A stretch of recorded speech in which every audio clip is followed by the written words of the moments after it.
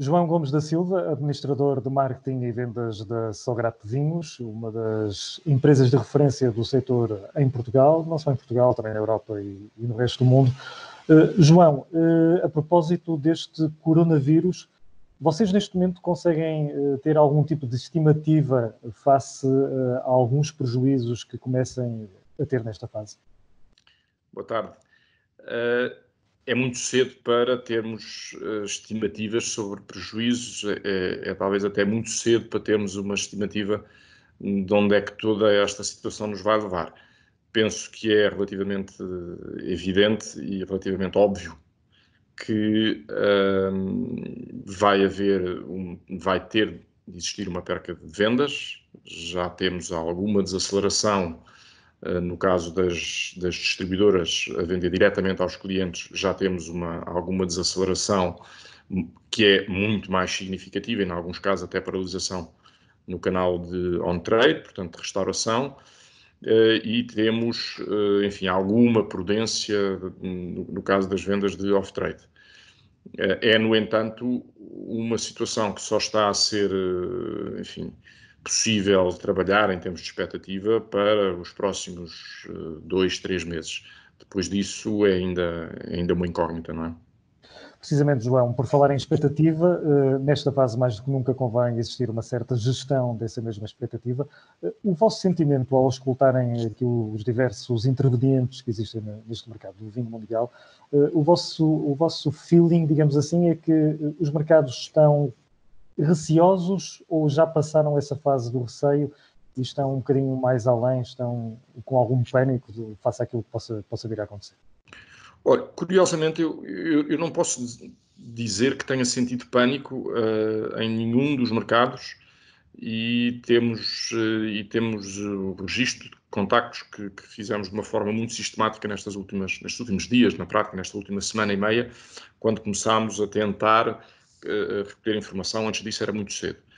Uh, não vi pânico, vi, uh, evidentemente, em mercados onde a exposição é superior ao canal de restauração, algum receio e, e, e alguma necessidade de começarem, uh, enfim, a ter estratégias de mitigação do lado financeiro, de financiamento da atividade, mas do lado do, de off-trade, e nós temos mercados que foram atingidos pela, pela crise muito no início, como por exemplo o Japão, uh, do lado do off-trade vi até alguma expectativa de que a resiliência fosse, uh, fosse muito grande.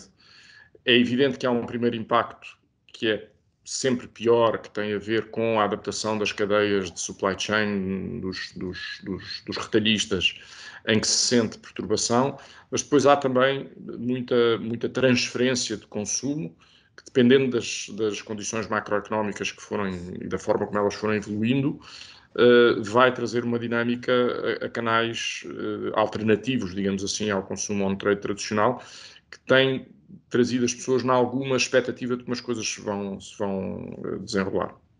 Precisamente, João, eh, tendo em conta a vossa experiência uh, neste conjunto diversificado de, de, mercados, vocês estão presentes em mais de uma centena de países, uh, quais são aqueles mercados mais calmos, geograficamente falando, e quais são aqueles mercados que nesta fase estão um bocadinho mais nervosos, digamos assim?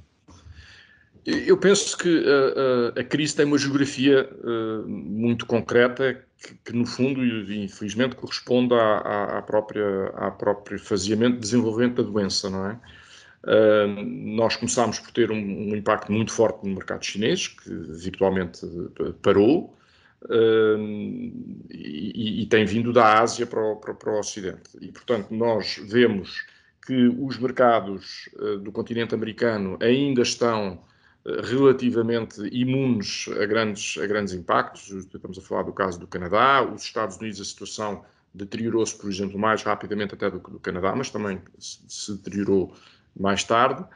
Enquanto que do lado asiático já começamos a ver claramente uma estabilização, referi o caso do Japão e é, e é talvez o mais significativo, uma estabilização da, da, da, situação. Portanto, atingimos o, digamos que atingimos o, o patamar nesta fase com aquilo que existe de conhecimento seja relativamente ao controle da, da epidemia e, portanto, ao controle das, das condições que mantêm as pessoas afastadas do consumo, portanto, aquilo que se chama as condições de lockdown, seja também das condições macroeconómicas, que eu penso que é uma das variáveis que neste momento mais influenciará a situação a médio prazo e que ninguém é capaz de, de, de, prever, a não ser que vão ser situações que não são iguais àquelas que existiam antes da crise, claro.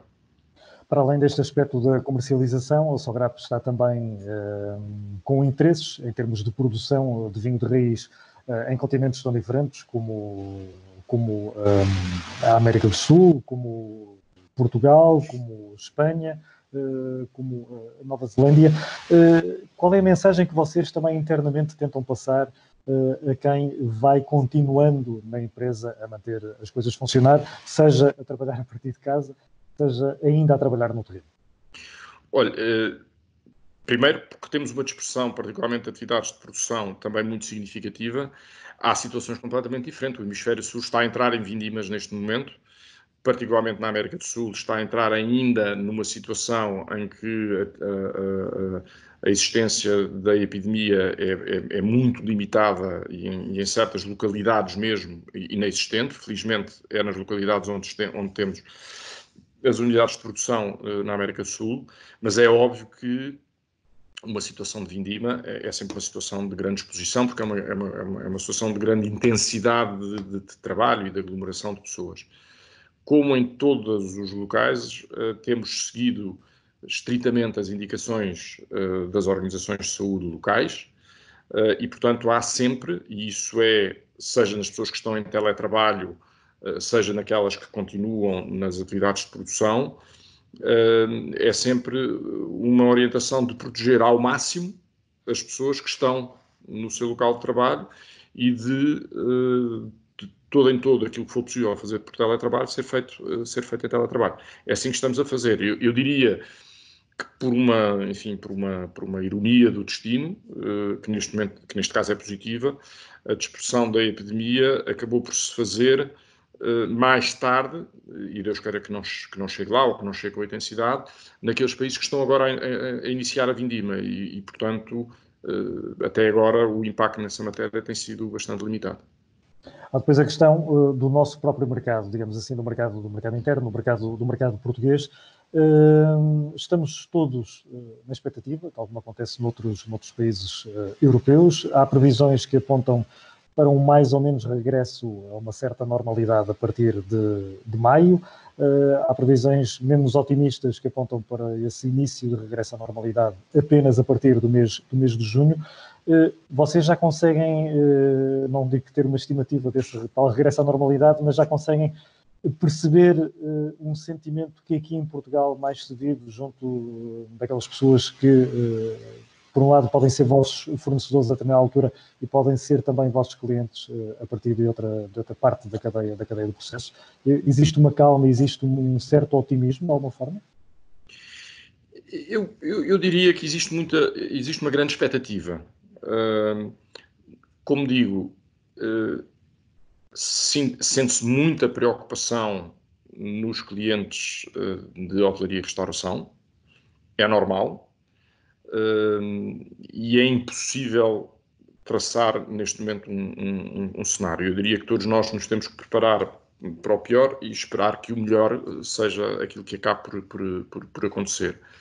Se vamos ter uma situação de limitação de circulação, de, de, seja de clientes, seja de consumidores, uh, que vai durar uh, até meados de maio, ou se isso vai se depois prolongar até, até por, por junho adentro, penso que nenhum de nós sabe. Se essa limitação, e aqui isto é um fator extraordinariamente importante para o mercado nacional, vai corresponder a uma limitação geral na Europa, porque eu penso que nós não conseguimos isolar a situação no mercado, no, no mercado português, vai ter muita implicação sobre os fluxos turísticos, por exemplo. e isso, esses fluxos de turismo, uma coisa é fazer um verão em Portugal com atividade de turismo, outra coisa é fazer um verão em Portugal sem, sem essa atividade uh, ocorrer. Uh, e isto fará uma enorme diferença. A verdade é que neste momento não sabemos se vamos ter turismo ou se não vamos ter turismo. Uh, outra coisa que não sabemos é se saímos da, da, desta situação de limitação de circulação e, de, e obviamente, de, de, alguma limitação dos canais, enfim, uh, tradicionais de consumo, com uma situação macroeconómica que, ao, particularmente ao nível de desemprego, que eu acho que é, é, é a variável mais, mais traumática e também do ponto de vista de social, mas também que mais determina o, o, a propensão para consumir, não é? Uh, vamos sair com que, uh, com que capacidade, com que resiliência é que o mercado de trabalho vai resistir, que tipo de medidas de política económica, que são com certeza medidas completamente fora daquilo que é a tradição de intervenção nestas crises, porque isto é uma crise diferente de todas as outras, com certeza muito diferente da crise financeira de 2008, 2012, 2013. Um, vamos ter, vamos ter um mercado de trabalho mais resiliente porque houve apoios ou houve intervenções que permitiram essa resiliência, ou vamos entrar em, em seja em e aí é indiferente, seja em maio, seja em junho, com uma taxa de desemprego de 18%, como chegámos a ter na, na, na, crise financeira. Essa é que vai ser a grande variável e que nós não temos ainda um controle sobre ela. Se sairmos com um desemprego muito alto, e eu diria que isto seriam as duas, é, é a conjugação das duas, do, do cenário mais desfavorável, que é sairmos com um desemprego muito alto e com, uma, e com um setor de turismo que eh, não, não consegue fazer, a, a, enfim, fazer o reinício da atividade de uma forma imediata, seja porque os estabelecimentos não recuperaram, seja porque não houve mercados emissores. Aí teremos uma situação que é obviamente muito mais, muito mais complicada. Agora, isto é metade do mercado. Uh, é óbvio que o desemprego afeta o mercado como um todo, mas no canal off-trade é também uh, começa, começa a haver sinais que depois de, um, de uma, uh, de, uma, de uma situação inicial em que as cadeias uh, tiveram que se adaptar a uma situação para que nunca, nunca se pode estar preparado, que é uma situação de pico de procura de determinadas, determinados, determinadas categorias, determinados produtos, e que exige que se concentrem aí, para uma maior normalização da, na cadeia de abastecimento. E, e, com uma maior normalização vem um retomar nas vendas. E enquanto houver uh, uma situação económica de base, o consumo em casa vai até aumentar. E, portanto, desse ponto de vista, vão é surgir muitas uh, necessidades e, de certa forma, oportunidades, se quisermos, são obstáculos que se ultrapassam, criando aqui alternativas para chegar a esses consumidores que vão estar em casa a consumir durante um, um determinado período de tempo e que forçosamente não vão fazer a sua compra de consumo em casa da mesma maneira como fariam, seja porque a fazem online, seja porque fazem com entrega em casa, enfim, todos esses canais de que até agora já existiam, mas que tinham pouca expressão, provavelmente vão ganhar uma, uma, uma expressão maior. E depois temos, por último, um fenómeno que também nenhum de nós sabe, se calhar neste momento, dizer, é até que ponto é que, ao sairmos da crise, esses canais mostram uma resiliência para assumir uma importância que não tinham até agora, ou se voltamos à situação de partida em termos de um consumo mais tradicional. Não sabemos ainda. Precisamente, o João já deu aqui mais algumas pistas para a parte final desta conversa. Uh, está visto que a campanha da Páscoa uh, praticamente deixa de ter uh, impacto final, final nas contas de qualquer empresa. o verão continua nesta fase a ser uma, uma incógnita. Uma eventual grande aceleração de todo o processo durante o segundo semestre será ainda assim suficiente para amparar parte das perdas no, no balanço final do ano? Não, eu diria, eu diria que temos que ser razoáveis uh, até, nas nossas expectativas otimistas. Eu acho que a dimensão daquilo com que nos, nos confrontamos, eh, em termos da alteração que durante um período que não vai ser de duas semanas, com certeza, provocou no funcionamento da economia, até no funcionamento da própria sociedade, não se vai recuperar em seis meses do segundo semestre do ano, que tradicionalmente até é um semestre mais importante do, do, do, que o primeiro, mas não se vai recuperar, até porque uh, seria, extraord seria extraordinariamente difícil neste momento uh, explicar como é que, do ponto de vista de políticas económicas, se conseguiria neutralizar completamente o efeito económico desta, desta crise que, vai, que nos, que, nos, vai confrontar durante dois meses, dois, dois meses e meio, três meses que seja. Uh, como ninguém consegue fazer isso, eu acho que nós não conseguimos com certeza, eu acho que é de presumir que o segundo semestre venha a ser melhor do que o primeiro. Agora vamos ter um ano difícil, vamos, isso penso que não há, que não há grande forma de fugir a isso. Há já quem, quem comece a ventilar a possibilidade de, eh, depois de toda esta crise, digamos assim, terminar, eh, sobretudo produtos, como é o caso do, do vinho, não é propriamente um produto de primeira necessidade, eh, correr o sério risco de começar a ser vendido a qualquer preço, simplesmente porque é preciso atingir o mínimo de, de resultados.